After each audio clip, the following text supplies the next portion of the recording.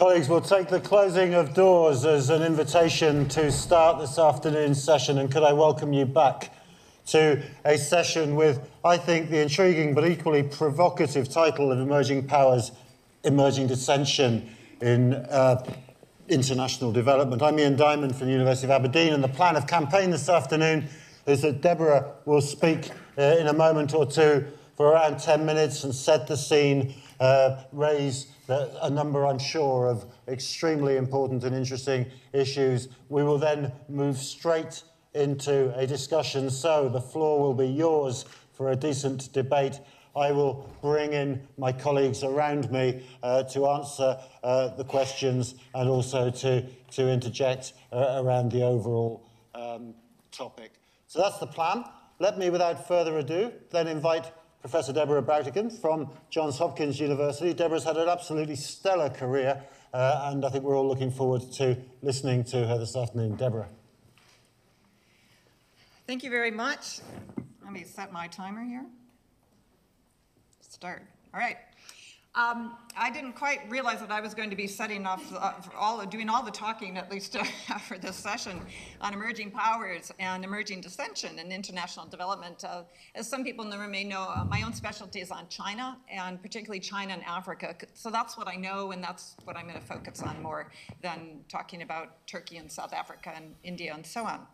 So uh, I want to make four points in my 10 minutes here. And the first is about China's idea of development and development cooperation. The second is about Chinese instruments for this development cooperation.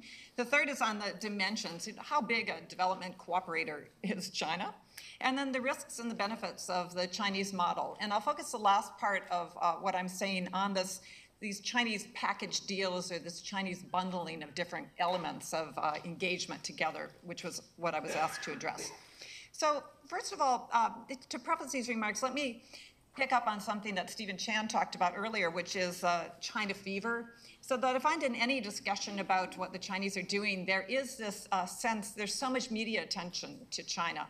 Um, so we have an exaggerated idea of their engagement in, in many dimensions, and Africa is certainly the case there.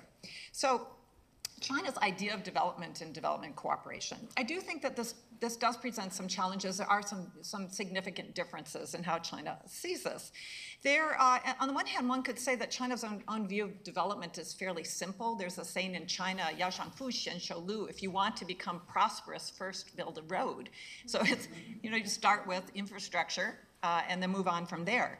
And I think that's when we look at their engagement in Africa, it's very much focused around infrastructure. So we can see that. It's a very simple idea uh, of, of development. And, but there's, another, there's, of course, more to it than that um, I see very much a kind of uh, recognition and an embracing of the idea that there are stages to development. And so, if you're a development theorist, if you hark back to uh, ideas such as uh, Rostow's stages of growth or, or, other ideas that we call modernization theory, in some ways, the way the Chinese think about it is very much along those lines that things develop in stages and there aren't necessarily uh, things that are, there's much less that's sort of global and universal in how countries should behave or, or act.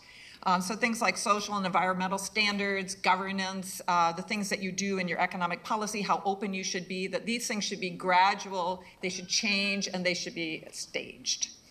Another aspect about the development idea is that foreign aid doesn't have a big role if you look at how China has developed, it hasn't developed on the basis of getting a lot of foreign aid. Certainly, foreign aid has been a component.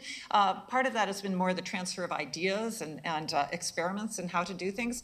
But uh, China's development was based on, on China and Chinese. And um, so they also, when they look outward, they don't see foreign aid as having a big role in their development cooperation or in other countries' developments.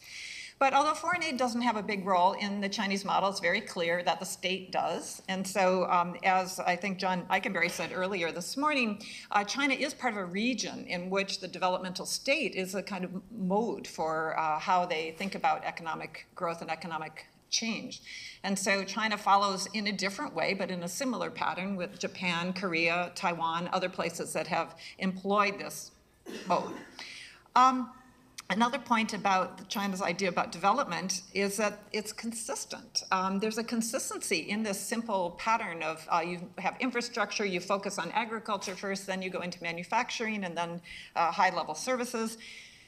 Um, and this is very different from Western views of how countries should develop, which have uh, changed decade by decade. In the 1960s, of course, we were focused very much on um, uh, infrastructure, uh, industry, as uh, building up electricity uh, capacity, these kinds of things as how to do development. In the 70s, it was integrated rural development. In the 80s, it became structural adjustment. In the 90s, we added governance. And now it's the Millennium Development Goals, and, and governance continues as well. So our uh, magic bullet for development changes every decade, but the Chinese have been fairly consistent since 1978. Of course, under Mao, they had some different ideas. Another aspect about the Chinese idea of development and development cooperation is that they really believe in this mutual benefit idea. And it's not just as, as Johnnie Carson caricatured it as uh, China is in Africa for China. Um, they realize that if it's not mutual, if the benefits aren't mutual, it's not sustainable. So their own interests and their own commercial uh, aspirations, if they don't also benefit the uh, developing countries that they partner with, um, it won't be sustainable. So this mutual benefit is important. And then finally, they don't, this point was also made this morning, but they don't export. They don't want to export their model. And that's very unlike us in the West, who believe that we really have something to teach and we have a, a teacher role. So my second area is uh, Chinese instruments for development cooperation. Now, um, they have all the, the same kinds of instruments that we have, grants, uh, concessional loans, and so on. These are for the most part, small in terms of the outward engagement. Um, and the grants and the zero interest loans are focused very much on diplomacy. So these are elements of uh, building China's soft power. They do these prestige projects. They build uh, the equivalent of the White House for African presidents. And these are wonderful aspects of Chinese foreign policy where every time a president goes into his, his house or the next president comes in there, they look and see this was built as a gift from the people of China. So this is, uh, for them, a very good use of their foreign aid budget. Um, that's not how we look at foreign aid. And clearly that can present some challenges for us. Uh, but let me go into the area that, um, that Philip asked me to talk about today, which is these bundling packages. And the idea that, um, that China Inc. coordinates all of this.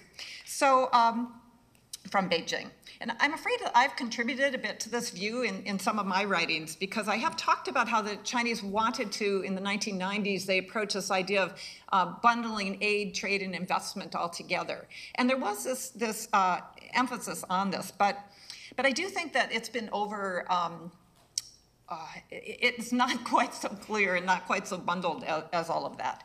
Now, the things that we do see that are bundled are, um, for example, the Chinese have these, this, in Africa, there's a Forum on China-Africa Cooperation. So every three years, there's this big meeting in which they make all these kinds of pledges, and then all of these things, aid and trade and investment, all of these get um, bundled together in these pledges. So that's one way we think of it. And the second is that um, it's very common for the Chinese to have these signing ceremonies where a Chinese high-level official will come to a country and they, they wait and hold on to all the different things, trade deals, investment deals, aid deals, uh, finance, and they sign them all together. And so some people might think these were all negotiated as part of a package, and that's not the case.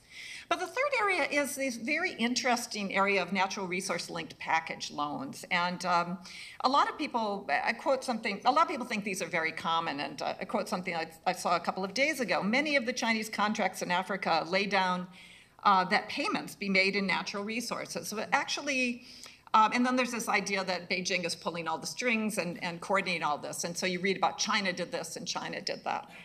Well, um, it's not actually the case. First of all, it's not the case that uh, it's very common, and uh, we can elaborate this more, but in uh, work that I've been doing on Chinese finance in Africa, there's so far uh, from 2000 to 2011, I've documented uh, about 52 billion in loans, loan commitments. That's 288 loans and lines of credit across Africa.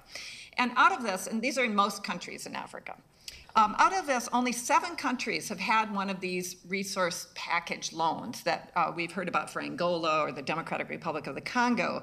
And that's about 22 to 23 billion over the same 11 years. So it's, it's a big chunk of what is going in there, um, but it's not very many cases. So um, and several other countries have had individual projects, like, like Ghana had the Bui Dam, which was secured with cocoa beans. So that would also be this kind of package.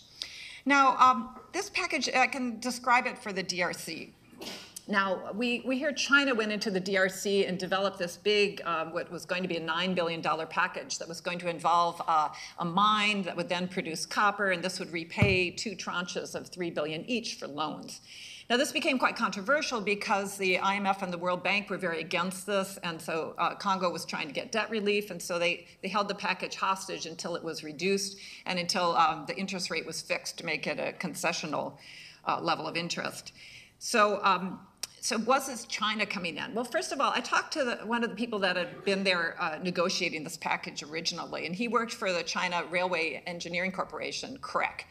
Um, CREC and Sinohydro, two big Chinese companies, were the ones behind this, and they developed this package together with the Minister of Infrastructure uh, in the Congo as something that was company driven. And so the idea was they were there, they wanted to do more work, Congo couldn't pay for it, so how could they come up with a way in which they could get more projects and uh, Congo could pay for them? So this was their package, and then they, sh- they uh, shopped this to the China Exim Bank which, uh, after years of discussions of all of these things, agreed to finance at least part of it, and the rest is financed out of a, uh, a combination of other uh, lines of credit that come through from the companies largely. So this is, um, it wasn't China that went there, it was Chinese companies that developed this, and then they got the finance. That's my um, timer saying that I'm done. You're going great guns, Deborah. well, I'm, I'm actually getting fairly close to the end. So these loans are looked at as being quite mysterious. People don't know how they work. Um, it's not that hard to unpack them. In fact, I remember talking to uh, the IMF res rep in uh, Congo about the Congolese loan, and he said, you know, it's been hell for us to try to get anything out of the Chinese or the Congolese about this. And I said, well, that's really funny because I have the contract. I downloaded it from the internet. And he said, well, I know, I have it too. But he said, officially, they won't give it to us. So um, they're sometimes less mysterious than we, we put out. And they're also not, it's not the Chinese uh, alone that use this kind of mechanism. Um, as I've often uh, given talks about uh, my work on China and Africa, I often start out with a, a story about um, a large country just emerging from conflict that decided to focus on development and had a, a, a, visit from a major Asian power that had already become a consumer of their oil. And they made this uh, deal for a $10 billion line of credit that would be repaid by oil. And then I asked people, well, which countries were these? And, uh, and the people would say Angola, Sudan. And it's actually Japan and China. So this was in the late 1970s. And Deng Xiaoping laid out this vision in, uh, in a speech in 1975 about how China could use its oil and its coal and its other resources to secure finance from abroad. So uh, it's a, a, model that's very long-standing. The World Bank has used this in the Chad-Cameroon pipeline, for example, using an escrow account in Europe to repay the loan to the World Bank. So um, the last point I'll make on, on this packaged kind of deal, which again, as I say, is relatively rare, uh, in, uh, it's happened in the Congo Brazzaville, the DRC, Equatorial Guinea, Ethiopia, Angola, Ghana, and the Sudan. I believe that's the seven countries. There are risks with this kind of finance, and I think um, the, the lack of transparency on the part of the Chinese um, is uh, one that contributes to this perception of risk because uh, they uh, have been very um, unforthcoming with information. And China Exim Bank, I don't know if uh, Wang Jianye is still here, but uh, he could tell us much more than I can tell you about these loans if he was willing to. So the lack of transparency creates some uh, issues about debt sustainability. My own view on this is that um, it's not that big of an issue, that the, these uh, package deals are very securely tied up with exports that are going out anyway and so they're being repaid. Um, so they're not going to be loading these countries with big debts that they can't pay, which is what we did in the past. Um, they could contribute to white elephant projects. I think that's a real risk uh, because I don't think the cost benefit analysis is being done very carefully for a lot of these uh, big packages and the projects uh, financed under these. And collusive bidding, there's not a lot of competitive international tendering. There's none. Um, there's some Chinese bidding, but uh, collusive bidding is a real risk. Uh, cost, quality, all of these things need to be ensured. Um, and it relies on country ownership, which is both a, a, a risk and a benefit. So um, they'll fund what the country wants to fund or what the government wants to fund. And all of these are risks that we've faced in the past, and the World Bank in particular has faced them and, and it's now operating differently. And I think it's part of the worry there out of that. We, we did these things in the past and we don't want the Chinese to make the same mistakes. But there are benefits too. And the benefit is huge that you, if you're a country that's poorly governed, and you've just come out of war, you can get your electricity repaired in Luanda. You can build, rebuild your sanitation systems. You can uh, put your roads and your bridges back together without waiting for the international community to sign off on your good governance. I think that's a benefit. Um, and your exports are going out anyway. All during the war uh, in Angola, the United States sent, if you want to put it that way, we sent billions and billions to Angola every year to pay for their oil, and we didn't make any of that turn into development. But the Chinese are making some of the oil that Angola sends to them is turning into development projects in Angola, and I think that's a good thing.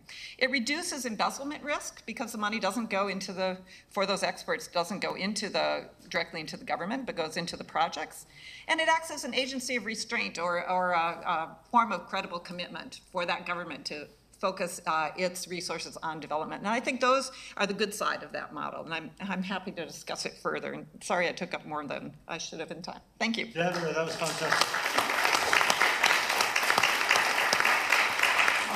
Just let Deborah sit down. But colleagues, we're going straight out to you. So questions, comments. Can I plead for clarity and for brevity uh, in your questions? But can I also ask that you may wish to uh, ask questions which, which move us beyond China and, in, and into other areas. So who'd like to start? A little post-lunch shyness, please.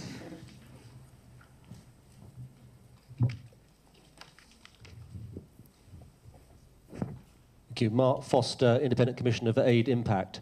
Um, just interested in terms of actually picking up on that last sort of comments whether we've seen evidence of these Chinese infrastructure investments with a follow through in terms of thinking through livelihood, marketplace impacts. You know, when you build a road, when you build a port, when you build that, in terms of seeing their interest in those broader economic development activities after the event or not, and how much that's feeding into their thought processes as they choose what to do. Deborah. Do I just answer? and- yeah. Okay. Um, By and large, from what I've seen, these infrastructure projects that are financed under these lines of credit are what the host government wants to do. And in many instances, these are long-standing projects that have not been financed, that they've had out there, that multiple feasibility studies have been done, and they've never been financed before. So the Bui Dam is a good example of that. Um, and also because the the, uh, internet, the banks, the multilateral development banks, are not financing things like hydropower projects for the most part. So there are projects like that, um, and then some of them are reconstruction after the war. Um, they're also telecoms projects. So it's not so much what the Chinese are saying. We want infrastructure here. It's more that the governments are saying this is where we want to pave this road or we want to redo this road. Um, so it, it's, uh, there are, are, examples of infrastructure that's uh, connected to a mining investment, but that's not these kinds of packages. Those are more traditional mine that has to have infrastructure around it. And that's not what I'm talking about here. These are a different kind of package where it's, it's secured by an export of some kind. Please. Uh, thank you, Deborah. Um, my name is Harry Verhoeven of the University of Oxford. Uh, quick question about you know, your, your claim that you know, China does not seek to export its model or its way of thinking about the world or about development in particular. Whereas I agree that obviously if the comparison is with some of the more ambitious uh, parts of the, of the Western liberal agenda, you're, you're obviously right. But I do think that, you know, given the interest that there is in Chinese academia, in Chinese policy world, in discussing issues of soft power and talking about the China model and the China dream, um, also in cultivating strategic relations between the Chinese Communist Party and a whole series of African uh, political parties. Um, I was wondering whether you think that this is somehow a, a, change or how, how you would categorize these things. Are these merely um, you know, realpolitik or commercially driven uh, partnerships and ways of thinking? Is this you know, merely to be categorized in that label? Or is, are we seeing something which is qualitatively different and where we are beginning to see perhaps a more, a more ideological uh, dimension to the, um, to the partnership? Deborah, if you respond there and then I'll move to Stefan Dercon to say a few words. Deborah, please. All right. Um, I think it's very much a hypothesis that um, the, this level of engagement is qualitatively different. I think what we can say as fact is that it's quantitatively larger, but it's it's always been there. You know, the party-to-party relations have been there always, and the military engagement has been there always. And so it's just all ratcheted up. There's more of it now. Um, what they do in their uh, party-to-party engagement, I'm not. That's not what I've looked into. Um, so, but I I would think that it's from what I've seen, there's not an effort. Certainly, there's nothing about. Um, there's there's an effort to try to get other countries to understand how China is. And so bringing people to China is much more, um, if there's any kind of experts, really much more of an imp- importing people in, showing them what they do in China, uh, hoping that they get ideas from that about their own development, pick and choose, but not this effort to, um, to condition any of the engagement on becoming more like China. So that's where I'd put it. Stefan Dercon. Right.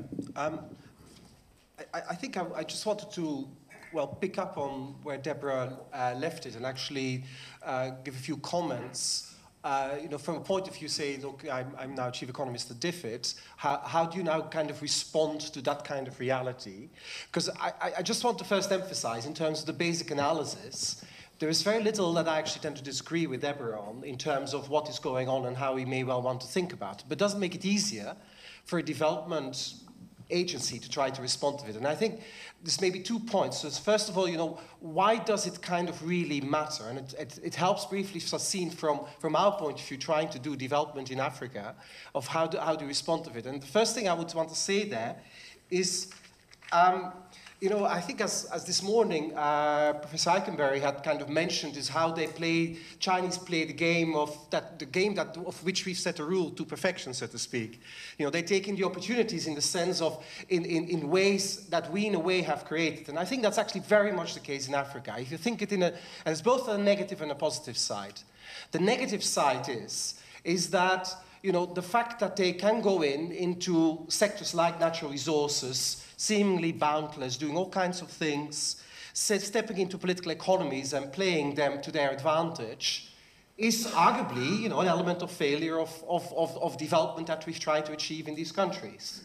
At the same time, the fact that they are going there now is also time because there are lots of growth opportunities and not just natural resources. And there's a lot of things going on that actually is an element of the success of development that we've actually had in quite a lot of places. There is growth in Africa. There's macroeconomic stability, which is something that didn't exist in the 1980s and early 90s, and it's a big change, meaning it's actually an investment climate that this kind of investor can come into. So that's actually kind of thing. You know, we have, in a sense, we, sow, we, we, we sowed all the, the seeds for it together with African governments and, and the way we did it. Uh, we, we, we harvesting now somehow a very difficult thing, but maybe the thing to react, the way to think about and how to respond to it is to see can we turn that positive to our advantage and our in terms of now as, as, as, a, as a shared development interest and actually working more on that negative. And so the first reaction could be, and this is actually a typical reaction I think that bilateral aid agencies have done this now, for, for now. And it's well illustrated when I first asked when I was in DFID to some head of office in Uganda and said, you know, how, what, how does China matter for you? And he said flippantly, well, it used to be the case we could call the Minister of Finance and we could meet immediately. Now the Chinese get the best meetings. Um, but it's in a sense they're in our space. And that's the kind of thing, you know, let's, let's, let's ignore that they're there, but they're just there and they annoy us. Uh, the other one is to say, well, let's bring them in the tent, you know, full-heartedly, and let them all sign up to the DAC OECD rules and everything and everything. You know, look, there's, a, there's something there to be done, and on the global stage, try to bring them in into rule systems. But it's going to be quite tough and quite interesting thing, and we do this. I think the third one is is probably the way we do it at the moment. I'll, I'll, I'll stop in a second. Um, the, the third one is we could just compete with them. And we could say we'll take them on on their game, you know, show them, show them on the one hand, compete them in every market that we can, let's do it, let's, let's take on the challenge, let's do it like in all the economic things, let's all get the things. At the same time, compete also on something that we stand for. You know, that we actually have a rights-based way of doing things, we have a set of values, set of norms, working even much harder maybe on the, on the political economy reforms in these places, and ensuring that pure rent-seeking behavior becomes less possible, all the institutional, institutional change. I think there's a lot of positive to be said about it, and I think in a debate that's probably where we are trying to say, well, maybe we should try to do this and show them that we better partner with the governments in Africa and say, you know, this is, this is a better way of doing business and so on. I think there's one huge problem with this. This is basically non-economists designing economic policy. This is mercantilist views. It's basically deciding that economic matters are always a zero-sum games. And I assume there's lots of non-economists here. This is always the one thing that frustrates me with non-economists. They think of economies as zero-sum games. What you get, I can't have, and that's it. And this is the wrong way to think about what's happening in Africa. The fact that Africa is growing and gets prosperous creates opportunities to all, for all the partners that could actually deal with it. And that actually means there is a shared interest. And it's quite interesting that you talk about mutual interest there, because I do believe there's a strong mutual interest. There's an interest for us that actually there's growth in a prosperous, prosperous Africa. I think there is a strong interest for, for, um, for China that there's actually growth in a prosperous Africa, and that actually that is, that is growth, not just rents that are being captured because they, they stifle at some point, they stop. China has a huge manufacturing sector that's far too labor intensive that is seeking to export. There's lots of opportunities in Africa, and I kind of often say, partly jokingly, but partly serious, China will deliver the MDGs because they're really able to deliver jobs in a way probably that we may not be able to do so. We do not have the firms and industries to invest there to do so. So you do have a mutual interest of growing and prosperous Africa. Maybe on that principle, try to actually find ways of working with them around things that have to do with maybe you know, growth and prosperity agendas that are shared. You know, as DFID, actually we sometimes try, we try all kinds of things, and we should do, you know, on all kinds of levels of global deals at more directly working with them. But one thing we're toying with, and I'm not saying that we will do it, uh, but for example, we have some fascinating contacts with the China Development Bank, who are actually very interested in working together because they want their in investments to have a good return in the long run. They don't just want to capture rents, they want infrastructure that are paid back and so on. And they said things like, you know, couldn't you help us with political risk analysis? Could you help us with social impact analysis? Could you help us with environmental risk analysis? It would be quite suitable. I can see their interest. I can also see our interest in doing these kind of things. Stefan, thank you very much. Please. Rachel Hayman from INTRAC. Um, I'd be interested to hear from any or all of the panel on um, how emerging powers are supporting or not the development of civil society in, through their international development work. David, do you want to say a few words? Um, trying to think if anybody else can can say it better. Uh, let's put me on the, the spot a little bit on that. Um, I don't know whether they are directly supporting civil society. I haven't come across much evidence of that, but they have changed the nature of the game and the environment in which those conversations occur. Um, obviously, that's sometimes interpreted by traditional aid donors in a negative light because some of the things that Stefan's just talking about, uh, the arrival of the emerging powers, and particularly of China and Africa, does give national governments more choice their bargaining position is improved so that it's not as easy to impose conditions such as you must do certain things for, um, um, for civil society. Um, almost trying to look for support of that, then I suppose in Africa a number of governments do look as though they're tightening up on NGO regulations in ways that would be seen as negative from a liberal democratic perspective. So uh, the evidence might suggest that that is allowing civil society to be marginalized, but that would be very tentative. Thank you. Emma, Emma Mawdsley. Yeah, I think it's very hard to have a definitive answer on this. Uh, the Gulf states, which we've not talked at all about today, um, are certainly perhaps more supportive of civil society through the Red Crescent and other forms of Islamic aid than many others. We see shifts, very interesting changes in India, uh, and I know there are people here today who are involved in that, with Oxfam and others uh, in uh, civil society, new civil society forum that's opened up between uh, the development administration, the new development administration in India. And it's a cautious forum, taking slow steps, but there's, there's doors are maybe opening. Uh, whether that means they're going to be co-opted, become a critical friend and voice is a whole another question. And I think what we see actually is also civil society organising itself in response to this new development landscape. So there are, uh, we think of Brazilian NGOs like Conectas and, and others who are actively thinking about Brazil's role as a development partner and the responsibilities that Brazilian civil society might have in trying to both deal with domestic issues of justice and inclusive growth, but also how that is externally projected out. Um, so I, I think that uh, by and large, I mean, when we think of civil society in the Western-led international development effort, of course, highly varied, but it's been very strongly produced by Western narratives, financing, and you know, it's, it's of course, it's enormously diverse and, and has plenty of agency and insurgency within it. But nonetheless, it's going to be very interesting, I think, to see how what is uh, quite in many countries, a large part of it has been classically funded and shaped by Western expectations and ideologies, how that's going, how those civil society organizations, particularly development NGOs, will reshape themselves.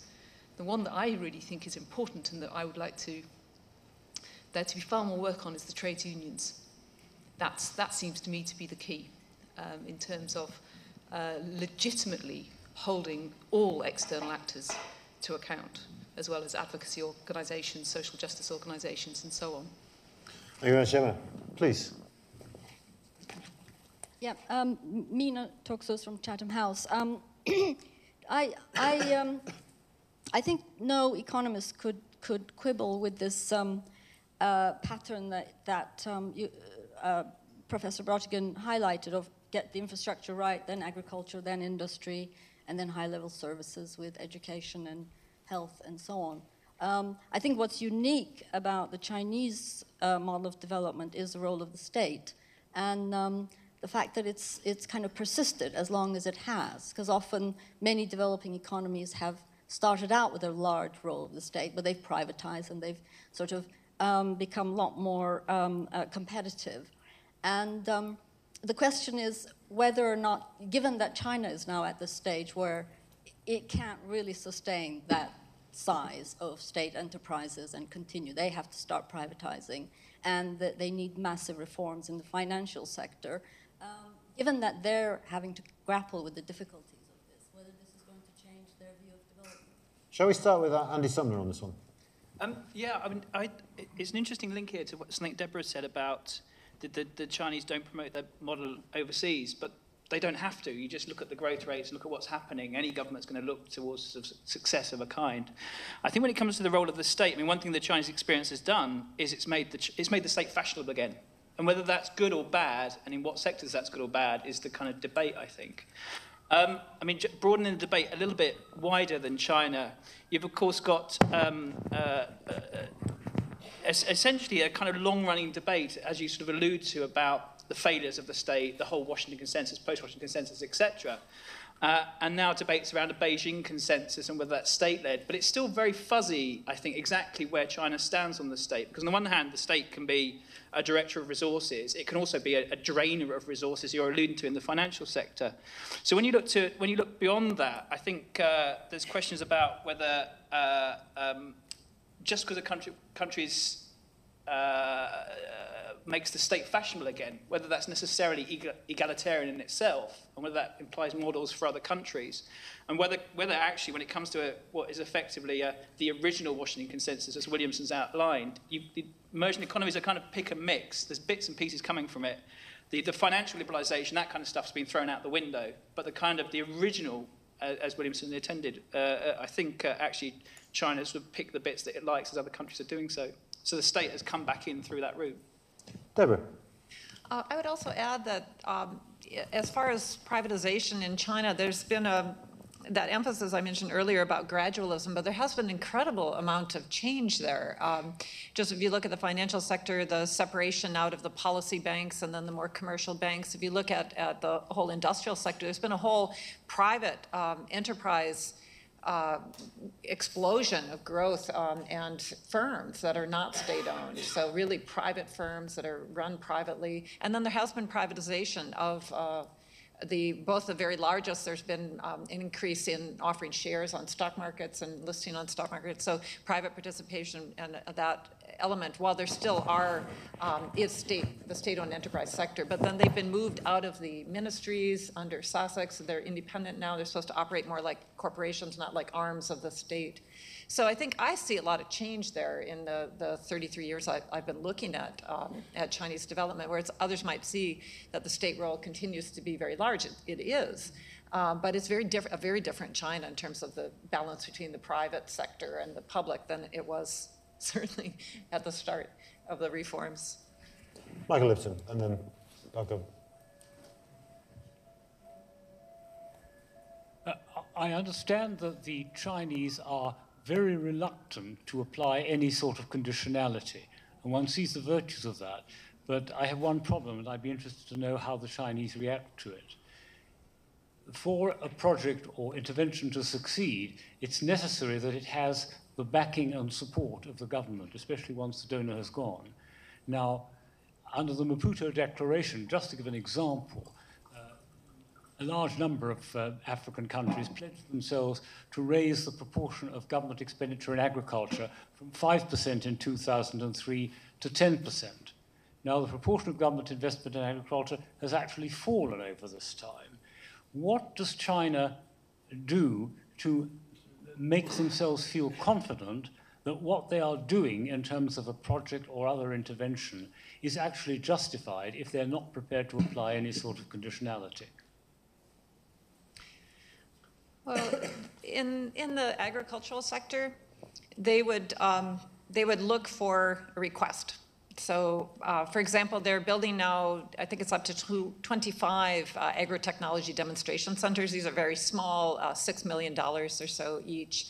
Uh, but they've, they're requested by the governments. And so there's a belief, I think they, they sort of think in Beijing that if the government is requesting it formally, that they want it.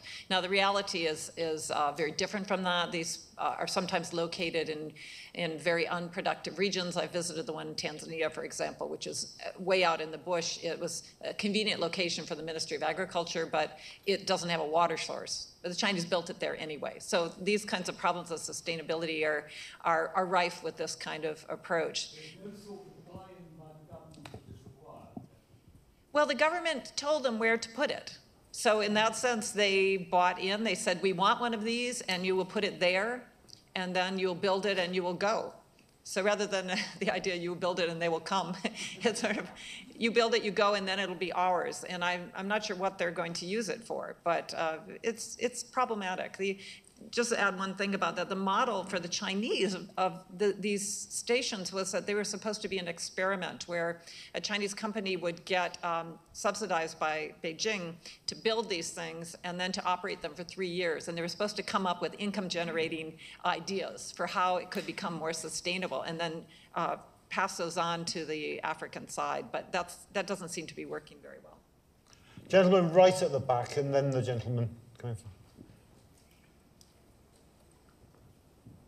Thanks very much. I'm Alex Shankland from the Rising Powers International Development Programme at IDS Sussex. Um, I just had a brief comment to complement what Emma was saying in response to the point about NGOs. I just got back from Brazil working with NGOs there on how they're engaging with Brazil's development cooperation. And one of the things that's very clear is the, the split or the quandary they find themselves in.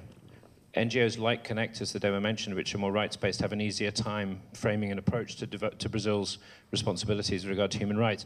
But there's a large contingent of development NGOs within Brazil which are losing all their northern funding and are desperate to get a piece of the South-South cooperation action, but at the same time are also desperate to maintain their legitimacy as allies of social movements who are critiquing sub-imperialism from the BRICS. It's a very difficult dilemma they, they find themselves in. Um, uh, and also we need to differentiate between NGOs originating from the global north, such as Oxfam and ActionAid, who now have very active offices in the BRICS countries, but which are often seen as northern NGOs, uh, by other NGOs in those countries. Uh, and we also need to look at the role of civil society organizations from the countries to which China, Brazil, and others are sending development assistance. Uh, so it's quite a complex picture. Uh, the question I had was regard, with regard to um, a curious convergence seems to be taking place between the UK and Brazil. And I was wondering if Chief Economist DFID might have some thoughts about this. Um, in February this year, Secretary of State made a speech stating very clearly that UK aid was going to be encouraged to create opportunities for UK investment in Africa as a way of leveraging jobs and growth. Um, and the UK has traditionally been a very strong defender of aid as unself-interested charity, essentially. Um, similarly, Brazil's historically been a very strong defender of aid as South-South solidarity, in fact, not as aid, as South-South cooperation, also without any commercial linkages. This is differentiated its approach from China historically, except that in May, President Dilma Rousseff made a speech to the African Union announcing that Brazil henceforth will pursue commercial interests as part of its development cooperation strategy. So I was wondering if, uh, if the Chief Economist or other members of the panel want to comment on this curious North-South convergence. That's very, very helpful. Thank you. I'm going to move first to Emma, just to comment, if you, you would, maybe on the civil society issues. Sure. I mean, uh, I, I couldn't agree more. I think a lot of NGOs now find themselves in a quandary, but then they, they often have. You know, uh, they've, they've always found themselves, I think, torn accountability up, accountability down, and all those sorts of things. Uh, but if you don't mind, I might also, also comment on this question of uh, turning aid to directly explicitly commercial ends and to supporting the UK economy. And in this, it seems to me, there's uh, one of the big systemic issues that we need to hold in mind is that we're really talking about so many different things. So particularly when we get to China, to Brazil, to India, we use this word aid and it's so misused and, and inappropriately designated.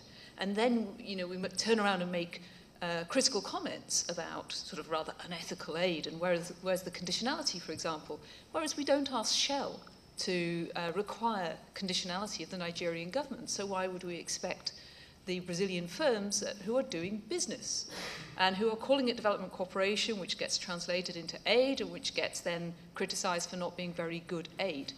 And I think that this goes back to a very interesting, uh, if you like, conceptual distinction that has emerged in the post-war era and which actually really has its origins in colonial attitudes, which is, uh, and, and, it's been strengthened in the last 15 years, which is that uh, there is a difference between big D development, intentional interventions to raise standards of living and growth and so on, and, and underlying little d development, the processes of long-term transformation, perhaps associated with capitalism and so on. And I think what we're seeing now, I think much of the Western post-1945 era, sort of separated those things out in ways that had a value and, and wasn't always a problem, but often was problematic because then we did development to Africa.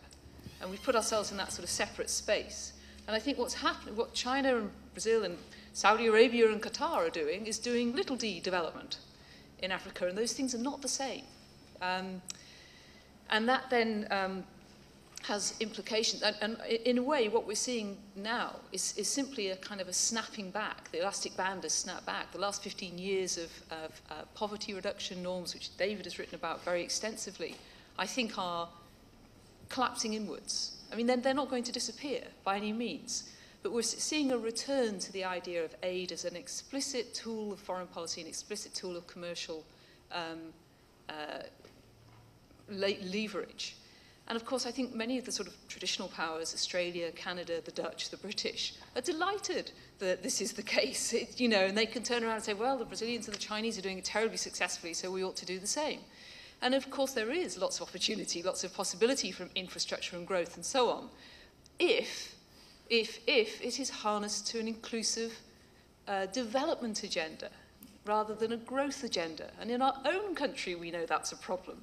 So why do we expect that a growth agenda is going to translate automatically into a development agenda, whether it's being done by the Commonwealth Development Corporation, not a great record, or whether it's being done by Sinopec. You know, it's, it's contingent, it's context-based, it's different, but this collapse of the, develop, the, two, the big D development and the little d development into each other raise all sorts of threats and challenges um, and, and opportunities and possibilities. Stefan, did you want to respond? Um, I think I should. I think you should. Absolutely.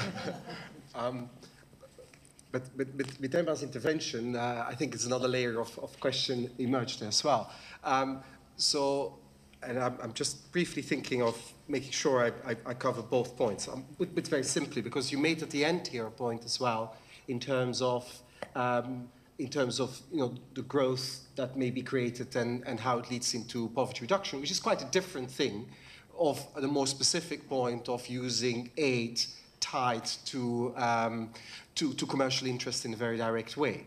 And so I just want to comment on both of them because both of them may be controversial um, and I want to try, try, to be clear about it. Um, I mean, let me first try to, well, I, I would show, probably assure you, uh, however much I would like at a conference like this say that we've learned from Brazil, um, I think it's quite unrelated.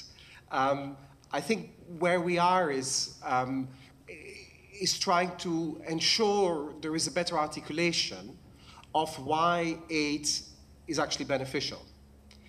And, you know, um, Prime Minister has been making speeches and repeatedly said so. I think our Secretary of State, even at the Tory Party conference, uh, repeated it, you know, thinking of aid as a good thing from a moral point of view, but also that it's in the national interest. The idea that commercial interest of the UK comes into it is actually just a, a, simple continuation from that national interest. But I should be very clear. There is absolutely no talk ever internally or externally of the repealing of the International Development Act that very clearly says that uh, aid is untied. There is absolutely not a single instrument that we're trying to design that says, you know, and how can we here get UK firms, little commercial interests, and behave now in these countries and we just give them small trade loans or whatever it is. There is no difficulty in not setting up a policy bank if that's what you're asking. Um, the, so we're not doing that. Um, but what we are doing is, is uh, and I think Secretary State has talked quite a bit about it, is putting thinking about economic development and growth as an agenda also for Africa much more at center stage. And I, that means I will need to comment later on on what Emma says. But in the first point, is he simply saying the argument is, is very simply a growing and prosperous Africa is good for the UK. It will be good for security. It will be good for any agenda you want to name, uh, whether, whether um, and I want to be careful now, whether truly or imaginary having big impacts going from global health to migration to, to any kind of things. It's just a good thing to have growth in a prosperous Africa uh, there. And um, so, so that's clearly an aim. And the commercial interest arises is that it's of course clear that trade opportunities arise when countries are growing. Trade opportunities don't arise simply in zero-sum games. So you just want to actually try to achieve that. And I think that's very strongly at the center now in strategies in DFID. Uh, Secretary of State actually, in a sense, in a Tory Party conference, announced it again or repeated it again. In fact, at the moment, we move into doing arguably a bit more on that area. I don't think it is kind of suddenly 90% of our resources go there and not. It's nothing to do with that, but saying, you know, look, put that more centrally in terms of doing. I think that's where it is, to saying, you know, part of a narrative, that is good for us. Africa is growing, not everywhere it's growing fast enough. Let, let's do this. How do we think about relationship with poverty? And I do feel like I want to answer that.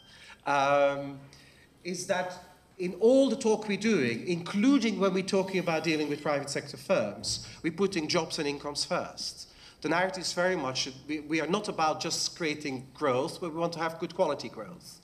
And the fundamental objective there is to focus on jobs and incomes. And it gets sometimes a bit lost on all parts of the debate, it gets a bit lost. But there are certain things also that are a bit difficult to deny, is that, you know, not single country has ever reduced poverty significantly without actually growing. And then, of course, it does it better when it actually creates jobs and creates, uh, creates incomes and doing so. And so we want to keep on putting in place, you know, especially when we work with private sector, that it's about job creation, certain things. CDC was mentioned. Oh, I, I will end up defending them as well. Um, just briefly, in terms of saying, you know, it's the same logic. Uh, they are now in a position where they will be judged in their performance on the basis of a grid that combines how difficult the countries are to work in and how good for job creation the investments are that they do. So put it differently, in due course it will be bonuses will be linked. Uh, for, this is for a fund manager quite interesting, quite original. Bonuses will be linked to job creation and, and, and, and working in very difficult places. I hope I'm not announcing something here too early, but I think that's true. Thank you, Stefan. Well, everyone's taking a note. Deborah. Any press in the room? Uh, I just want to point out again a, a difference between um, China, and I think this is probably also true of Japan and maybe Korea.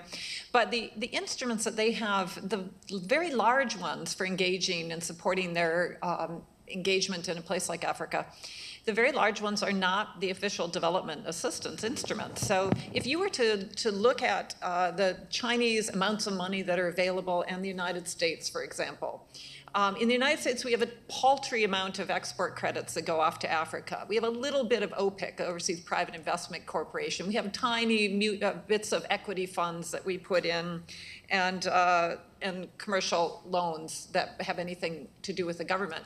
And then we have aid, official development assistance, which is $10 billion now annually. And these other things are in the millions usually for the Chinese, it's the opposite. So their their other their equity funds and their risk insurance and their uh, export credits are big, and then their official development assistance is small.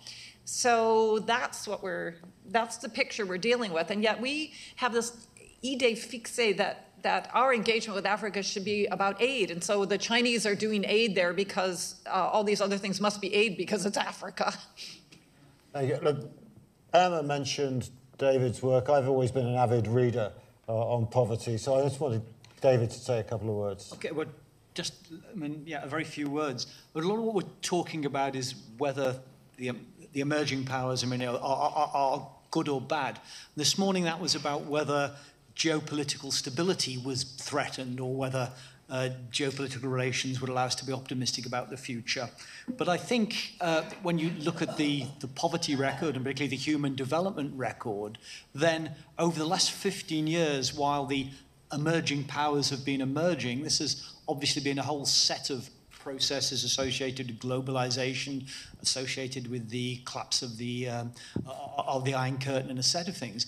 But the human development record, um, which was good, has actually upturned. You know, incomes have risen, income poverty is reduced, longevity has gone up, uh, infant and child mortality rates have gone down. I mean, that's not been uniform. There are complicated patterns spread around the world. There's at least a billion people who haven't benefited, but certainly the background data about these last 15 years when we've moved into this world of, uh, of emerging powers uh, suggests that there is some dynamic which in aggregate terms is certainly progressing human development at, at, the micro level um, and that once you try and tease that out, it gets incredibly complicated. But there is, I mean, cause for a, a degree of optimism that things, something is going right.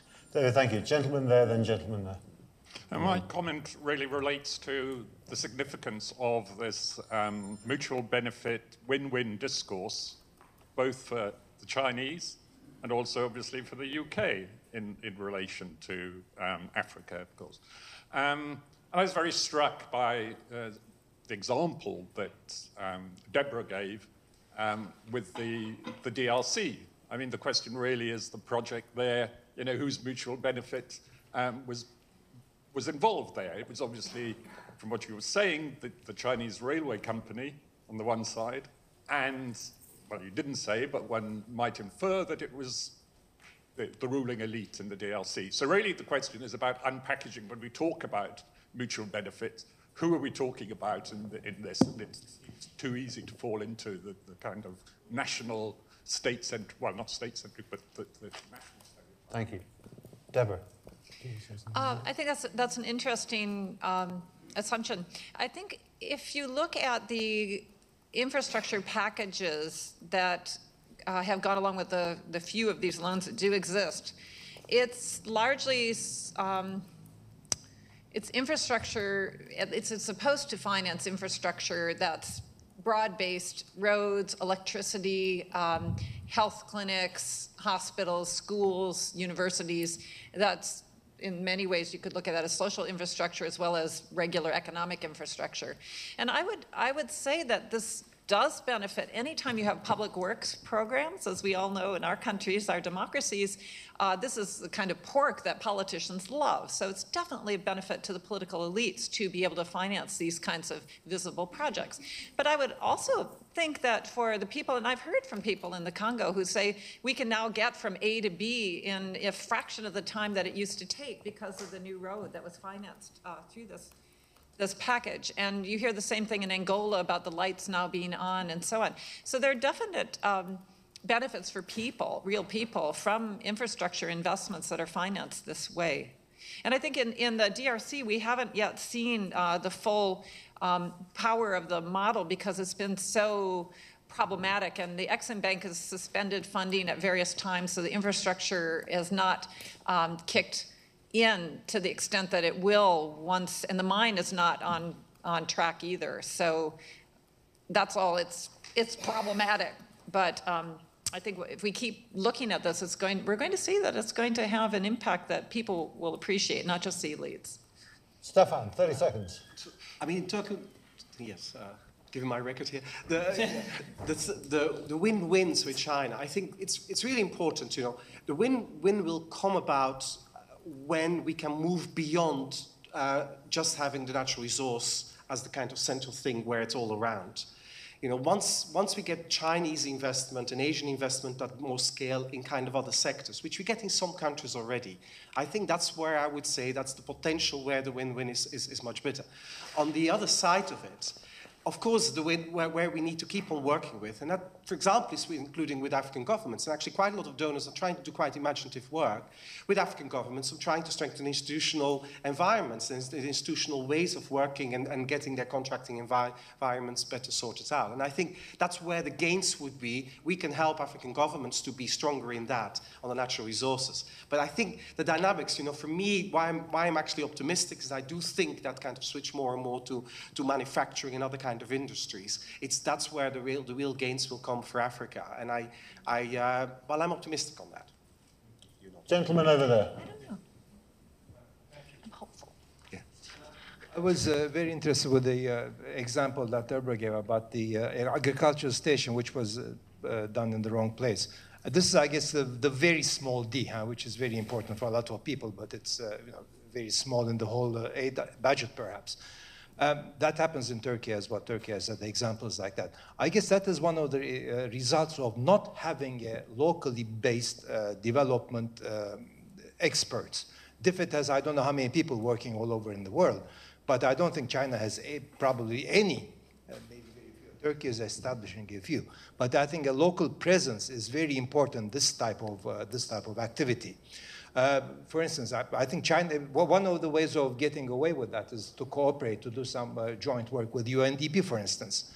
And uh, as far as I know, China is rather uh, reluctant to do that. I think there's a very small thing with, in Cambodia where they have a, a cassava development uh, where the UNDP is saying, well, this is the right thing to do. Not somebody's pet project, because the pet projects come uh, up like that. Some local person says, okay, talks with the Chinese or Turkish or whatever, says, do this here, and then they do it, but that's the wrong place.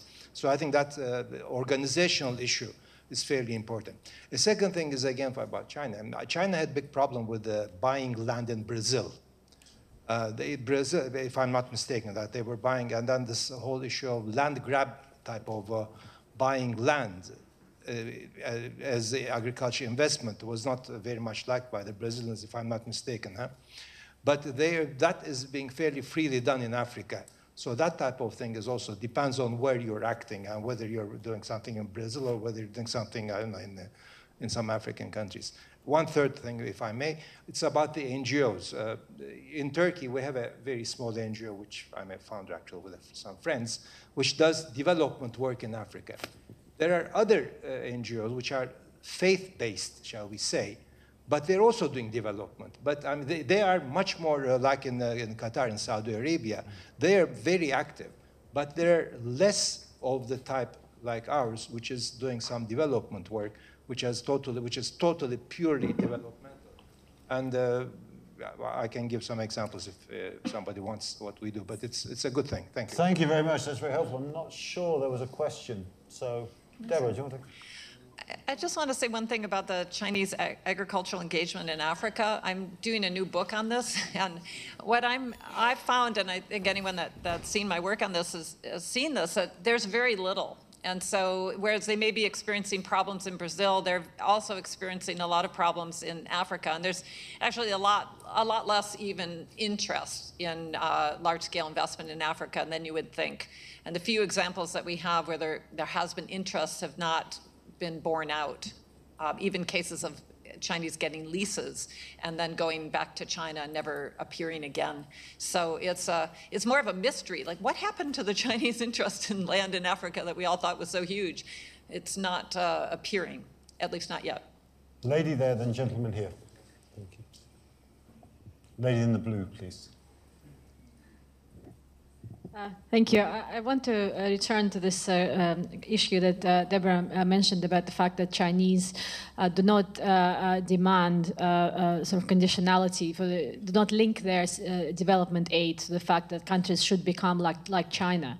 But I wonder whether that even if they do not do that uh, explicitly, where implicitly they do, in fact, influence uh, the way that the political systems in those countries are developing. Because uh, you mentioned modernization theory. I mean, if we look at the sort of classic modernization theory, um, the idea is, of course, that economic development, rise of prosperity should lead to the rise of middle class, and middle class should bring the values of democracy, rule of law, accountability with them. Uh, and uh, we have seen now, really, in, in the last decade, uh, a number of countries who went through development with new middle class emerging, but with a kind of values that do not necessarily lead towards, you know, a more sort of democratic trajectory of, the, uh, of their political uh, system. Um, and while you know Western development uh, uh, uh agencies, you know, have been um, sort of more reluctant now to promote democracy as a part of their kind of development assistance, I think we've seen a, quite a big pushback from new players who explicitly want to encourage. You know, new middle classes to support more of a statist approach, you know, less support for democratic institutions, civil society, etc. So I wonder whether you agree with that, and if that is the case, you know, how can we encourage uh, more democratic countries like India or Brazil or even South Africa, you know, to play more active role? Thank you very much. I'm going to Deborah and then Andy on this one. Um, I don't, as I said earlier, and as I think you've repeated, there isn't any, uh, I have seen no effort to make um, any of the engagement conditional on acceptance of, of a Chinese model. Um, and I actually think that the Chinese really don't care what kind of country they're dealing with as long as they can do business.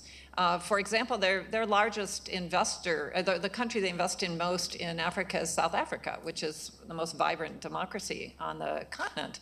So they have a, um, and uh, the, one of the, their, the place where they would most like to invest their for natural resources, where the Chinese companies are all heading, it's not the Democratic Republic of the Congo or, or Nigeria or Angola, it's Australia. And they're very interested in Canada too. So uh, they like stable places where they can do business, where there's a rule of law, where their investments can be protected. So I, I do think that to, all those things make sense for their engagement, and um, I think that, that the fact that they go to those places, they would like to invest more in the United States and, and as well, that that bears uh, that's that's favorable for the kind of uh, outcomes in terms of uh, at least benefiting uh, countries that are already democratic and not uh, encouraging them to become non-democratic. Uh, but I think also the, the more the economies build up and the middle class builds up, in some places, we can see it hasn't worked so well in Russia, and certainly in China, there's no recognition yet that China is going to follow the mode of Korea and Taiwan and have a democratic transition when they get to what is it, 6,000 per capita income in 1990 dollars, according to uh, some of the research. But um, the jury's still out on that. It could be a Singapore, it could be a, a Taiwan. It could go either way. As Suman will know, the Chinese have just invested hugely in the North Sea. Um, but Andy? Um, yeah, I was just picking up this issue about middle classes in emerging economies. Um, I think the one thing about what, what gets labelled as the new middle class is, is, is they're not very middle class in the way that we would think of at least being secure from poverty. So you're talking about people who look at the data, they're between, say, two and ten dollars a day. The studies from Latin America tend to link the, the, uh, um, the chance of falling back into poverty at around something like seven to ten dollars a day, uh, depending on the country you look at. So you're, you're basically talking about people who are barely out of poverty themselves, and because we get fooled by very low poverty lines, you know, no criticism of, of, I mean, I've been there myself in terms of, of, of government policy. I've, I've, I've, I've worked, I spent time. Well done, Stefan. Uh, uh, I think, I think, I mean, I'm curious what you think about this, because basically we, we kind of, assume that, you know, you move someone from, say, a dollar twenty to about two or three dollars, job done, no longer our problem internationally. So are we going to end up with a world where basically the bulk of the world's population won't be in extreme poverty, but they'll be vulnerable to poverty on a, you know, one, one illness away from poverty or, or one economic shock? But at the same time, I think there's an issue that this burgeoning group of people who are neither poor on a day-to-day basis nor, nor secure from poverty, they, we were doing work with the, with the World Values Survey, and the preferences for redistribution grow very quickly in countries where that group is burgeoning.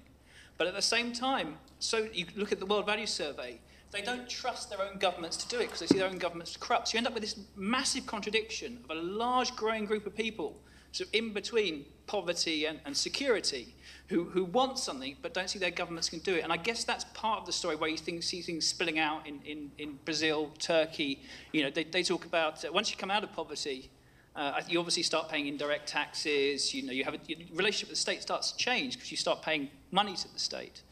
Um, and so I wonder whether uh, some of the, I was thinking a minute ago, whether we should, there's a kind of a step back a bit from the, the kind of excitement about emerging economies. You're still talking about the bulk of the world's extreme poor in emerging economies.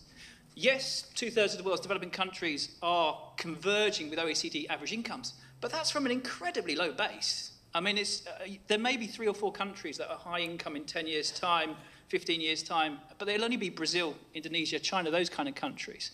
So I wonder whether there's a, a sort of stepping back a bit and when you talk about development models, so the session here about development models, where the, the title of the session, I was thinking, well, yes, there's a lot of growth. Yes, absolute poverty or extreme poverty, whatever you measure, is reducing. But actually, you're just moving into this position where there's a large number of very vulnerable position people. And that's just much more around social policy, social protection, insurance risks, which I'm sure Stefan is on very strong territory given his academic history. Uh, so I think we just need to be a little bit careful about the kind of excitement around emerging economies and just sort of take a step back. They're still pretty poor countries. And take, for example, somewhere like Ghana, Senegal, Sudan. These are all middle-income countries that are going through drastic changes, even structurally. It's not always commodity-driven, because that's the other issue. Is this structural change-driven? Is, you know, is it non-agriculture or is it, is it commodity-driven?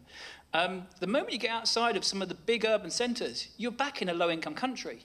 You know, two hours drive from Accra, Ghana isn't a booming third world country, a booming middle income country. I'll stop there. I cannot, I know there's a lot of people, but I cannot go forward without allowing Stefan just to say a minute or so on that. Well, I don't know, maybe one day uh, Tim Harford could do a, a, program on your numbers, but that's another matter. Uh, there's a bit of issues there with, with statistics. But the, the, the, the very simple, two simple points is that first of all, you know, why do we draw that line so low, even if these people above there are still quite a lot of vulnerable people? Actually, has a very simple, very simple moral argument. We draw the, the line low and we focus with our efforts there because that's a way of guaranteeing that we focus on the poorest people and the poorest places. If we make the line much higher, then our catchment group is fine, and a middle class guy, um, a middle class guy in uh, Peru, who may not be as middle class as I, as I am, but he, he would then still get support, while a very, very poor person in Ethiopia wouldn't do. So you draw that line so low because you first want to tackle that. I bet in 10 years we'll have another poverty line where we will spend our 0.7 of uh, GNI, and that would be great if we got rid of that first group and we could focus on the next one. And the second thing is on that moving of the emerging powers, and that's actually getting there. So this kind of very strange thing, country like India, where you actually get this strange process of actually, you know, actually three quarters of the world extreme poor live in middle, uh, middle income countries. And it will be like this, well, in, well, probably by 2030 it will be. But actually, in a very funny sort of way, because that's where I, I think we have to be careful with the way you, you put it. These three quarters, quite a lot of these three quarters of, of people living in middle income countries are in countries where the trajectories of poverty are actually pretty good. India has gone actually on quite an interesting trajectory. You can't co compare the Indian trajectory to the trajectory or the Chinese trajectory, for example, with almost what is close to 100 million. They're compared to, say, a trajectory that we see in DRC or in Ethiopia. Actually, Ethiopia is not a good example, DRC or Tanzania, where it's not going as fast. So you want to look where they're going. And so there's a lot of poor people in emerging powers, but actually they're actually powering ahead. They're slowly but steadily powering out. Now, then you get this strange final thing. I'm sorry, this final thing. It will be there. There will be lots of poor people in middle-income countries in 2030, probably a similar percentage as now. But that's to do with because a lot of new countries will enter middle-income status while actually the poverty in the middle income status will keep on going down. It's simply that they inherit the stock of poverty by the time they hit that kind of useless cutoff point, middle income, and they still have a lot of poverty. What you want to look at is where they're going, not where they're, where, where they're now. And quite a lot of countries on a downward trajectory. And I think it's quite legitimate, say, to give less attention to the countries on a downward trajectory than the countries that actually were stuck with very high poverty for a while. It's probably better we continue this conversation. this conversation is going to go on for days, so I'm going to move to this gentleman here. I want you. And then the lady there, and then the lady over there. And then the I lady just there. wanted to uh, ask, maybe Emma or uh, David, any one of them can take it up, that when you look at globalization in relation to development, particularly in relation to third world countries, I think globalization has not come as an angel, uh, maybe angel of a middle class or the upper, but the lower rung of the people, it has come as a devil. Huge death rate, huge poverty, and increase of uh, income levels, um, gaps between the poor and the rich. Uh, I can say in India that it is massive. Now, in this context, uh, how did you know countries like India, Bangladesh, and South Africa take globalization? And then, uh, how are they negotiating? One uh, uh, something I read about Bangladesh is that that seems to be doing uh, comparatively much better in terms of growth rate and so on. Uh, you know, how, how, do, how does it work in terms of uh, the packages that come, in terms of the classes that it built? The middle class that someone was talking is not a positive middle class that has emerged out of this. It is a very, very negative middle class towards the human being down below. That's very helpful. I'm going to go to David and then to Emma. Okay. Um, well, I work on Bangladesh, so That's hearing Bangladesh mentioned is really delightful because Bangladesh is a hidden success story. Many problems, highly imperfect, but most people don't realize the progress that Bangladesh has made with 6%, 5 to 6% growth for the last five, uh, 15 years, and the human development indicators going up. Looks as though it's going to achieve most of the Millennium Development Goals, which is unusual for low income um, country.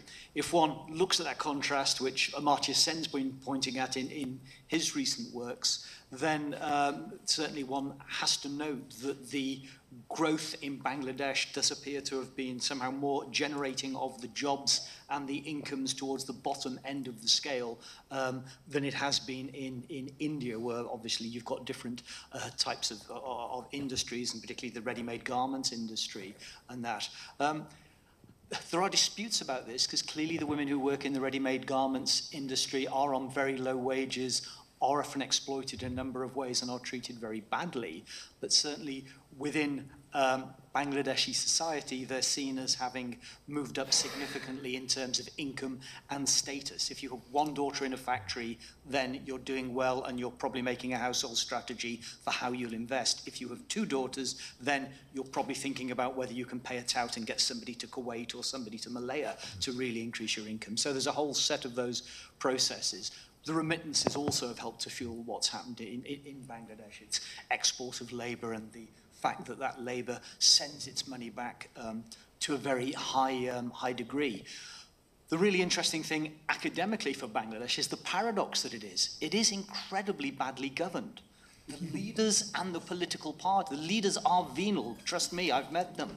Um, the, the, the political parties are absolutely co corrupted. And so at the moment, I suppose the big question that one's looking at is whether these processes of growth and human development and, uh, and, and women's empowerment, whether they've changed institutions in a way which means that one can look for the, the next set of industries or opportunities and improve the institutions further, or whether it's just been a fortunate sort of conjuncture and the right package of investment came together with cheap labour at the right time, but whether we're not in a dynamic process of growth and human development. No answer on that for sure yet. Emma, thank yeah, you. thank you. I mean, it's uh, such a big question. I, I know a little more about India than uh, most other places, so I can talk perhaps a bit about that. I mean, if, if you look internally at India, of course, a magnificent economy in many ways, social change, all sorts of possibilities, declining uh, poverty, although perhaps not quite as fast as we're told. Um, but there is a violence to that process. Uh, if we look at internal uh, land grabbing, if you like, the uh, ways in which um, uh, the indigenous people, small farmers, uh, marginalized people of all varieties, slum dwellers have been uh, violently alienated from their land, their property, um, in the pursuit of cleaner, greener Delhi or bauxite or whatever. Um, and of course, historically, development has been a very ugly process. It isn't a nice process by and large. We've, we've kind of made it nice and we tend to think of it as nice, but it's historically actually not been. Um, of course, there's no re- that doesn't mean there is a reason it should be violent and alienating, but my question is, I suppose, is, is what sort of um, stepping back from this question of the emerging powers becoming more active and simply actually more visible development partners and actors. If we go back to the modernization theory, or the modernization theory era, the high point of it, uh, that was in the context of developmental states and, and state-led economies, which for all their faults tended to be a period of global growth between the 1950s and 70s. Um, where we are now, where we see a sort of second resurgence, if you like, of modernization theory, is in a period of neoliberal globalization. So a neoliberal globalization has a very uneven record on growth, but it has an almost universal record on inequality. Everywhere has become more unequal. And I'm very persuaded by, the, I mean, of course, global poverty is a huge, huge issue. It's, it's the biggest issue. But very close behind it is, is equality. Um, and in terms of uh, social unrest, I don't think getting people to two or three dollars a day, I'm going to agree, I think with you, Andy, it, I think it's going to cause more problems than less in some ways. Because you may get the bulk of the population to two and a half dollars a day, but when you're walking through, you know, Mumbai, watching people spending, you know, that on a coffee, that's, that's when the anger rises, I think. So this, this question of uh, what's, first of all, the, the global context within which the emerging powers are becoming more active players is, is a very different one. And, uh, and, I, and I think, you know, we, it, and it inflects back within, whether we're talking about zero-hour contracts in Britain or whether we're talking about the IMF in Greece. These questions, are, are, are, they enable us to go far beyond these problematic geographic distributions of doing development out there. And, and I think that's one of the, again, this kind of collapsing this idea of development, big D, we do it over there, and development, small d, this is the world we live in, is really important. And bringing that to bear, not just on China and India, but also on ourselves, I think is critical. Um, I would like to think the emerging powers will help lead a more, inclus a more inclusive uh, growth than has been achieved under, say, the last 20, 30 years of neoliberalism. I don't think they will. And while I think the win-win discussion and debate is, is uh, very impressive, this seems to me to be um, anchored around the idea of greater justice between states. And hooray for that, a more plural world order, and so on. And it's not inflecting sufficiently into the idea of greater justice within states, whether India or Senegal I'm going to be really brave. I'm going to get through three more questions. This lady, this lady, and this lady, and then we'll take it from there. Please. So, can I plead for clarity and brevity? Uh, uh, thank you. I want to come back to the first thing Deborah said, which was that China felt it didn't develop because of aid, uh, and this influenced its views. Well, no country has developed because of aid. But the question is, what does China think it can offer to developing countries? Or does it not think it can offer anything except maybe sympathy and a much more long-term view? Because if you take the, the structural view that you say China is taking, then you're taking a much longer-term view than trying to reach the MDGs by, uh, by next year. You're talking about something that's over 50 years. Is this the way China is looking at it? And but more specifically, what does it think that it is giving to countries? A few trips to China to see how things ought to be done. Uh, and this ties in a little bit to some of the things that Stefan said.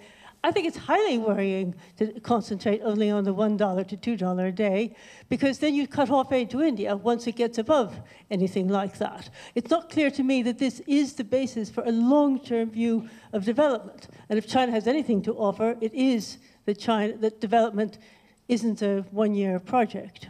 Thank you very much, Deborah. I think that um, China thinks, China thinks, uh, um, let me put it a different way.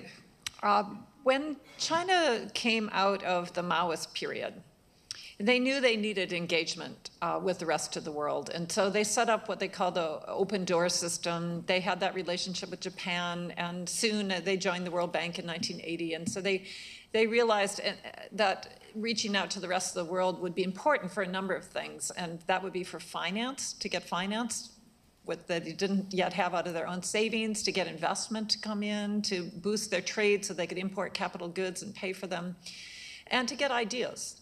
And so they sent people out to be educated.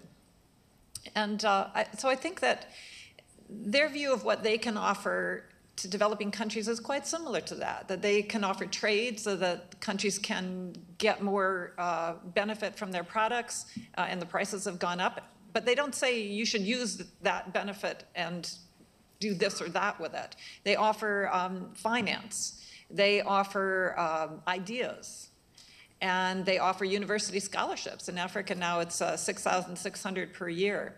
Um, and so I think that it's quite similar to the way they looked at things as they were emerging from the Maoist period. Hey, over there.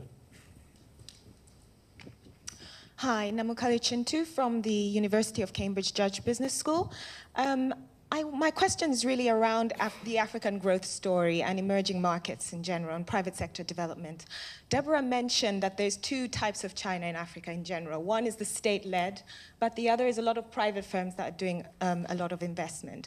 Second thing that she mentioned was the ratio of ODA to aid in the West is about 80-20, whereas in China it's the other way around. And then Stefan talked about um, you know, incentives for impact investing, and at the same time mentioned that there is no policy bank for this. So my question really is, um, you know, for Western countries, FDI into Africa has either stagnated or declined. And um, is, is a policy bank, you know, one of, you know, is a policy bank or some of the interventions China is using one way to engage if indeed you think that Africa and, and the growth in Africa is a good thing? obviously, given the situation of government shutdowns and the recession, I mean, is it something that's worth considering, policy bank? Stefan. Hmm. Um, well, okay, so, so we have to be a little bit careful, I think, with FDI figures to Africa, because depending on which year you look at, it's gone down or it's gone up. It's actually, the trend has actually been, been going up, and it has not really been dramatically dented uh, with the financial crisis. So I would actually still say there's a certain positive story, although I know there's been uh, one recent year that it went down quite remarkably. Um, so should we engage? It's, actually a, really interesting question, and you know, I actually, I'll, be very honest, I never thought, but I probably will from now on uh, also use the language of a policy bank and, and, and the idea, because you know, there's a potentially an, an, an idea around it.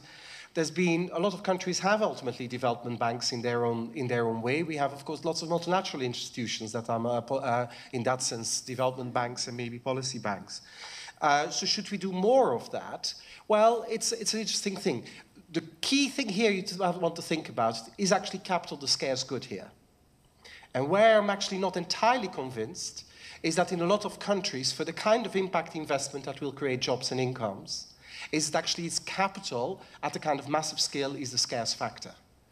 Put it differently, I'll come back to what I mentioned earlier, institutional environment, getting contracting environment sorted, getting these progress in these areas, political economy areas, rent-seeking behavior areas, and so on, we'll probably need to do far more. But yes, there are definitely, and there is I think, you know, for me, it is also, and I probably share that with you, there, it's a time to, to start looking at Africa for much more investment. And ultimately, I mean, this is why I'm actually, personally also, I'm quite positive about uh, China in Africa and also quite a lot of other countries, emerging powers in Africa, because, you know, there's nothing worse for Africa uh, um, than, than no investment. You know, it's, it's, you know, better to have all this kind of investment all the problems. And I think there's, there's been just such a long time, nobody saw opportunities there. And I think it's creating a new language, a new dialogue, a new thinking. How can we get this? Is it a policy bank? So depends on the analysis. Is that scarce good? But uh, we, we, could do it. You could probably think of CDC as a, is actually very similar to what's called uh, the the fund the fund China Africa Development the Fund. China Africa Development Fund. Ultimately, it's an equity fund and, and does very similar things. So we have something in common already. Please, lady there. Thank you. Um, Sarah Parkin um, from Forum for the Future, which is a sustainable development not for profit. It's a question to more than one on the panel.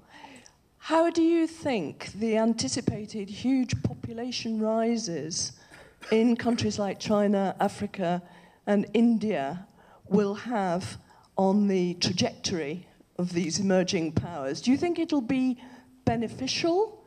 Do you think it'll undermine it? Or do you think it'll be a neutral factor? Andy.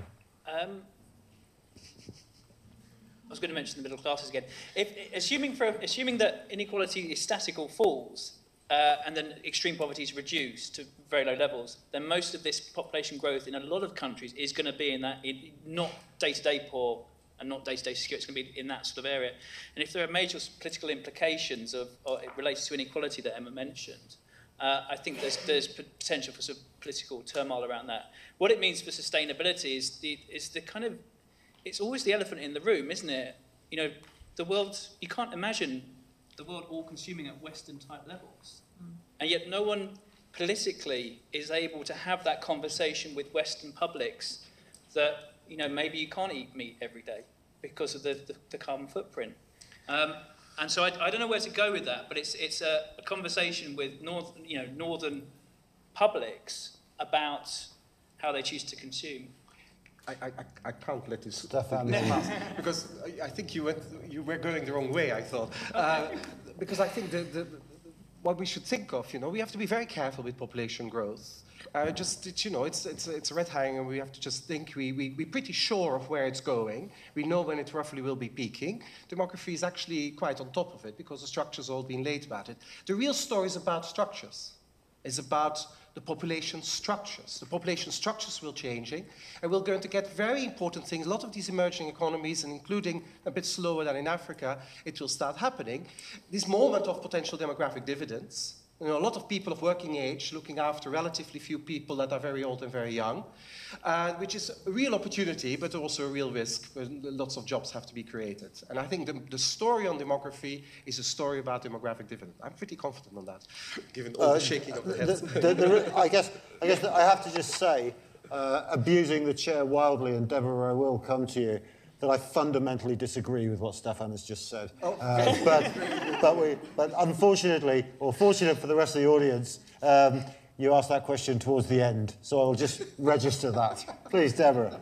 Darn, I wanted to hear you. I want to hear more. Why do you disagree?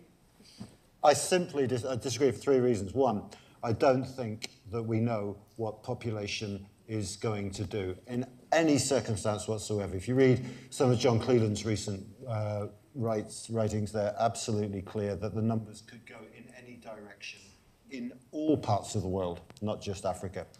Second point, we simply haven't addressed many of the issues that come from that. It's all right to give us demographic dividend. Oh, fabulous.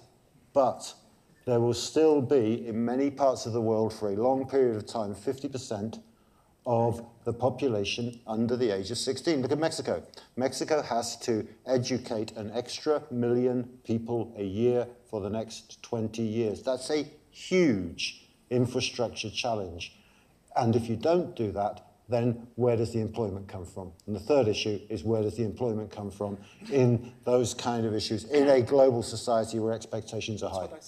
That's what I said, no. No, no, no, no, no, no, no, no. no. Opportunity or no, risk of the structure. That's what I said. Last thing I definitely said here. You should listen. Okay, well, we'll agree. Deborah. I just wanted to point out that with regard to China, it's not a question uh, where the risk is uh, of huge population growth. The Chinese have for better or for worse, had very draconian uh, population policies in place for a long time. And their issue more is now that uh, with the one child policy, their demographic dividend is coming to an end. And so they are uh, getting to a point where their labor costs are increasing. And so that's a very different uh, situation. I've got time for one more question, sir. Uh, David Shipley of Drayton Finch. Um, as I think Dr. Mawdsley indicated a couple of times, there's also a strong emphasis on investing in infrastructure in the developing world from the Arab and Gulf states, particularly. Um, I'd be interested to hear, uh, sorry, from the Gulf states particularly. Um, I'd be interested to hear how the panel think that differs from the Chinese model and the more traditional Western model. Anna, would you like to comment on the Gulf states? and how that differs from China? Uh, I can't. Um, I'm afraid. I, I, I would like to be able to do that. But I do think the Gulf states, I will say this, are uh, surprisingly under-researched in these sorts of forums. And I think this is one of the problems, of course, with the BRICS that I'm sure everyone in this room would agree with, this artificial name that's become something, is that apart from anything else, I think it's turned our attention away from uh, not just the second tier, but this other kind of world of very major investors, very important uh, states uh, in, in Africa and elsewhere. So I'm afraid I don't know enough. David. Um, a, quick point on that. I mean, I have to agree, it's incredibly under-researched. A little bit of work I've done with, with Gulf um, donors and that, though, does show that, I mean, accountability and reporting and monitoring is just from another planet. And certainly people will explain that sometimes in terms of Islam. But I mean, you give the money to an intermediary who is taking on then the moral duty, but you've had your duty, then you trust them to use it, but you don't really expect them to report back to you. And I know some work that we've done on trying to establish a sufficiency line for Saudi Arabia. People want to telex us into private bank accounts large sums of money. They seem to be operating in a quite different world than the world of aid effective and traditional donors. And the final point I'd put on partly relates to Bangladesh, but many other Islamic countries, there have been tens of thousands of Wahhabiist uh, madrasas spread around the world through money from Saudi Arabia.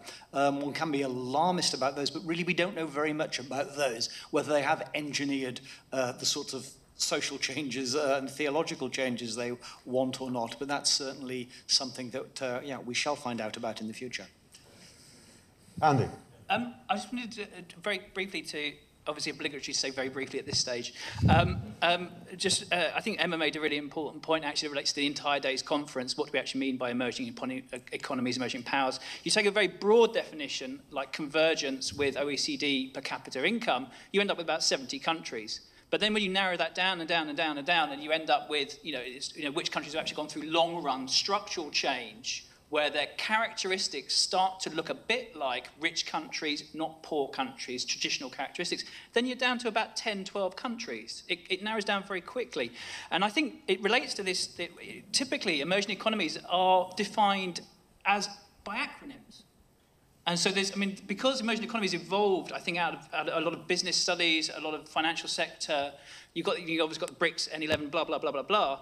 But actually, you, you want not only a convergence of per capita income, you want some kind of convergence of structural characteristics so that countries start to look a bit more like uh, developed countries rather than poor countries with higher per capita income. But you also want some kind of convergence around distribution and some kind of middle class society where the, the bulk of the population are living in some reasonable level of security. And I think that's, that's these, these kind of other aspects to defining emerging economies seem to get sort of pushed off the table a bit. So I just like to say that. And colleagues, that brings us to the end of this afternoon's session. I'd just like, on your behalf, to thank uh, Deborah, Stefan, Andy, David, and Emma for absolutely, I think, enthralling responses, but particularly to thank all of you who asked a question, all of the who wanted to ask a question. I think we got through an awful lot. So, on all your behalf, shall we have a round of applause for everybody?